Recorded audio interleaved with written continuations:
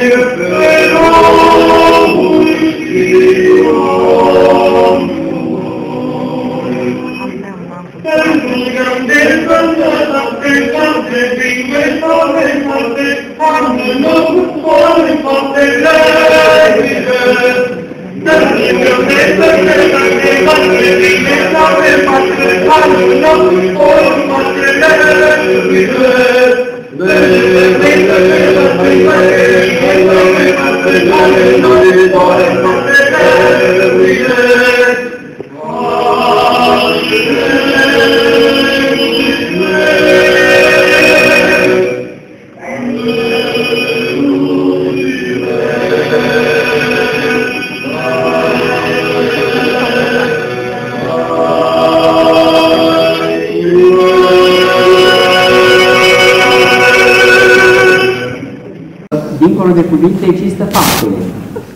Avem aici de față pe nepoata Anilis Nicol și deși știu că nu e pedagogic frumos să vorbesc numai de mine, dar am să vă arăt așa ca să știți că a ține în brațe un copil după ce ai nepoți, deja încep să-L înțelegi pe Dumnezeu mult mai bine.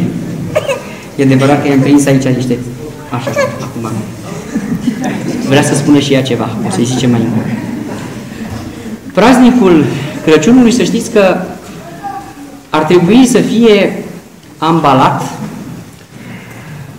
și să poarte o etichetă instrucțiuni de folosire. Pentru că multă lume nu prea știe cum să se poarte cu Crăciunul. Ați auzit multe supărări ale unora vis-a-vis -vis de uh, tot felul de tradiții care s-au împletit, ei spun că s-au amestecat în tradiția bisericii, dar prin creștinare ele sunt ale noastre. Ați auzit, pe de altă parte, și de alții care, în schimb, au spus prea mult despre dragoste mai mult decât despre teologie, printre care mă număr și eu. Asta vă spun decât foarte puține cuvinte, pentru că nu vreau să aștepte masa de Crăciun și când sunteți întrebați acasă de ce n-ați venit mai repede să dați vina pe mine. Puteți să dați vina pe mine dacă aveți altă treabă în altă parte, dar eu nu vreau să vă fac părtaș la păcate străine. Atunci când uh, avem în față praznicul Crăciunului, trebuie să știm un singur lucru. Dacă nu iubim, înseamnă că nu știm ce înseamnă un praznic. Trebuie să iubim. Uitați, de exemplu, și copilașul acesta, nepoata mea, Anelis, dacă n-aș iubi, o ar simți și ar începe să facă tot felul de scheme. Dar uite că vrea să vorbească alături de mine. Vreau să vă spun că acest praznic al Crăciunului este un praznic deosebit. Este un praznic al copilului din noi, de care, din păcate, am uitat. Așa cum v-am mai spus și altă dată, de multe ori am promis copilului din noi ceva și nu ne-am ținut de cuvânt. Atunci când ne-am pornit spre somn aseară, eu nu știu ce ați gândit dumneavoastră, dar pe mine m-a luat foarte greu somnul, adică spre dimineață când trebuia deja să plec. Eram înconjurat de atâta bucurie a Crăciunului, încât am căutat să-mi aduc aminte de momentele din copilăria mea în care așteptam Crăciunul. Nu vroiam să plecăm niciodată din casă, să vedem pe unde vine moșul, ce face, ce ne aduce. Și am trăit și retrăit sentimentele acestea și mi-am dat seama că, de fapt, marea taină era emoția. Dacă ar fi să vorbesc despre praznicul Crăciunului într-un singur cuvânt, aș zice emoție.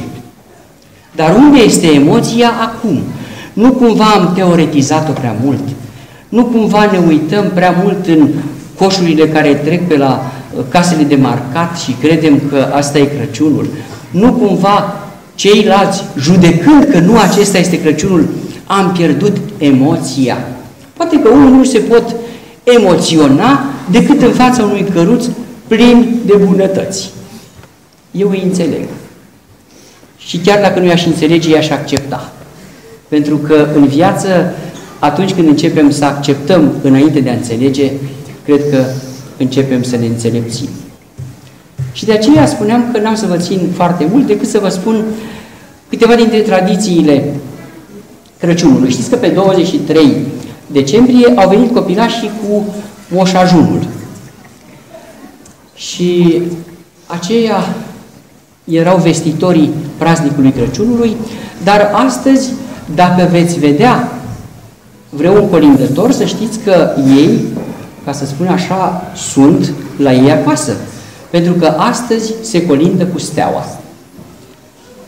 Se colindă cu steaua pe care o confecționează tinerii care se duc cu steaua, ar trebui să se ducă câte trei, câte trei, ca să fie în chipul magilor de la răsărit, și steaua să fie cea care să călăuzească spre Hristos, adică spre casele fiecare dintre noi.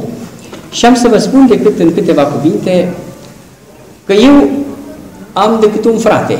Și când eram mici, trebuia să ne ducem și noi cu steaua. Uh, ca să te duci cu steaua, trebuie să ai stea. Acum încă un frate nu mai aveam. Verbi aproape nu erau așa de la îndemână de găsit. Și ca să faci steaua, primul lucru trebuia să faci rost, nu știu cum îi zice la, la dumneavoastră, dar noi venim așa cu un împrumut după la Vâlcea, îi ziceam ciurel, o sită, prin care se trece mălaiul ca să iasă mămăliga mai bună. Și acel ciurel, să știți că nu puteai să-l folosești decât după ce era dat la casare, să făcea proces verbal, era un lucru mare. Cam după două generații își permitea o generație să dea la casat un ciurel din acesta. Și eu și cu fratele meu am ajutat puțin ciurelul cu o furculiță și l-am ajutat să îmbătrânească mai repede decât trebuia, astfel încât până când a început postul Crăciunului să avem materie primă pentru stea. Zi și făcut s-a constatat cu proces verbal, bineînțeles, și cu chelfăneală de rigoare cine și ce a făcut, dar n-am recunoscut nimic și am rămas cu ciurelul în mână. Am luat, să nu credeți că hârtie glase, pentru că nu aveam de unde, nu aveam fonduri. Dar era celebra hârtie de împachetat, mov, parcă o văd. Am ținut la acea culoare pentru că din acea culoare, din acea hârtie mi-am confecționat primul epitrahil și primul felon. Vă imaginați că nebunia e de mic, dacă vrei să ajungi preot, trebuie să o iei așa, de, cu normă întreagă, de când ești foarte, foarte mic.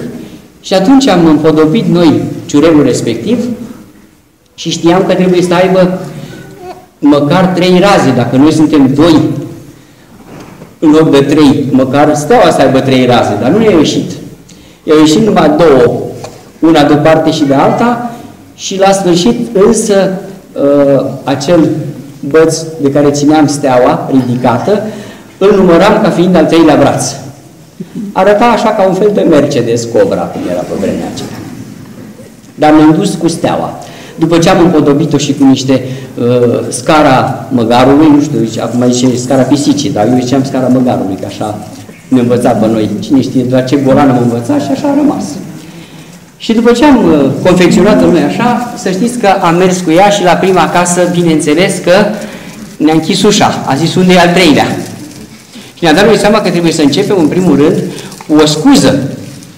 Nu vă supărați, al treilea a pățit ceva și noi considerăm că dacă suntem doi și cu steaua facem trei. Și ne-am preumblat noi așa, după ce ne-au alungat vreo doi, trei, chiar și cu cuvinte de ocară, au zis, nu vă ajunge, că ați mai fost și de ajun. Noi totuși ne-am făcut acest canon. Nu de alta, dar prea mult stătusem ca să confecționăm steaua. Și am respectat munca noastră. Ei, aici am vrut să ajung. Dacă vrem să trăim un praznic, cu siguranță că trebuie ca la sfârșitul unui post să dăm satisfacție uh, muncii noastre. Pentru că orice post înseamnă, înainte de toate, o strădanie. De aceea, cei care ați postit și cei care nu ați postit, poate o să începeți de la anul să postiți în postul Crăciun, în postul Paștelui. Astăzi se iartă totul. Ca noapte de Paști, cum zice frumos Sfântul Ioan Gură de Aur, cei care au spus și cei care au sposit, poftiți că vițelul este gras și îndestulător. Așadar, noi ne aflăm în fața praznicului și vreau să vă spun că praznicul în care ne aflăm este unul al iubirii. Și dacă este unul al iubirii, aș vrea ca astăzi să nu judecăm pe nimeni. Dacă suntem de o parte sau de alta a baricadei înțelegerii teologice a praznicului, cu siguranță că dragostea este cea care ne ajută să înțelegem adevăratul praznic. Eu personal mulțumesc Lui Dumnezeu pentru darul acesta de Crăciun, de a fi unic și de a găsi sub brad tot felul de daruri. Și să știți că moșul a fost ajutat de către mulți dintre dumneavoastră. Și am așezat în sacul moșului tot ceea ce am primit de la dumneavoastră pentru aniliz și ea le-a primit mai departe. Multe dintre ele probabil că le va împărți cu verișorii care vor urma. Că este o tradiție în neamul nostru, de exemplu, eu fiind al, cam al șaselea în neam, n-am purtat niciodată până în clasa a 10 -a, o pereche de pantofi noi. Și niciun ghiozdan nou n-am avut până atunci, decât atunci când am plecat la seminar la 18 ani. Dar nu este despre văietare, Doamne ferește. Simțeam că atunci când încalți o pereche de pantofi pe care îi învățase să meargă și altul, eram deja mare. Pentru că atunci când își cumpăra prima pereche de pantofi, vărul meu, Nelu, mă uitam la ei, la pantofii aceia, bă, avea grijă de ei până ajung la mine.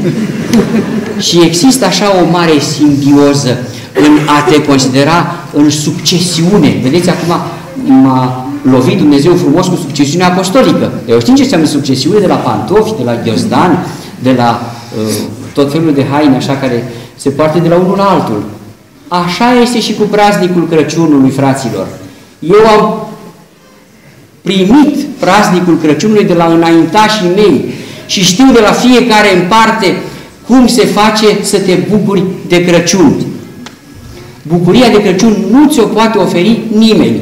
Trebuie să ți-o iei singure. Dacă ești în stare, bine, dacă nu, înveți.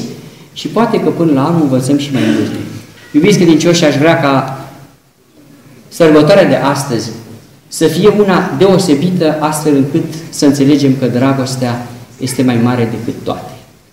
Nu mai stăm să judecăm ce e bine și ce este rău, ci să ne gândim la Dumnezeu care ne-a trimis pe Fiul Său pentru toți. Nu a trimis numai pentru cei care merită, ci Dumnezeu ne iubește pe toți la fel. Și ca să închei, fără să-mi aduc aminte de Părintele Arsenie, nu pot. Zicea, Tată, știți de ce îl era numit Sfântul Ioan Evanghelistul ucenicul cel iubit, care stătea la pieptul Mântuitorului la cina cea de taină? Zice, Tată, pentru că el cerea mai multă iubire. El avea vasul mai mare. Pe toți iubea Hristos la fel, așa cum ne iubește și pe noi. Dar cine are vasul mai mare, acela iubit mai mult.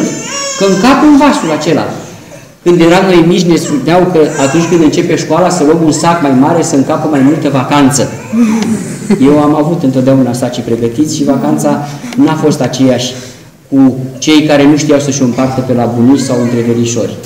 De aceea, praznicul cel mare al nașterii Domnului trebuie să fie un praznic pe care noi să-l pregătim în noi înșine. Cu cozonaș sau fără, îl pregătim în noi și îl frământăm până când dospește, până când crește și până când ne arată că dragostea este mai mare. Să vă, să vă ajute Dumnezeu. Mulțumesc că închei pe acest fundal de colind. Nu știți, acum ea ne colindă, dar nu înțelegem noi.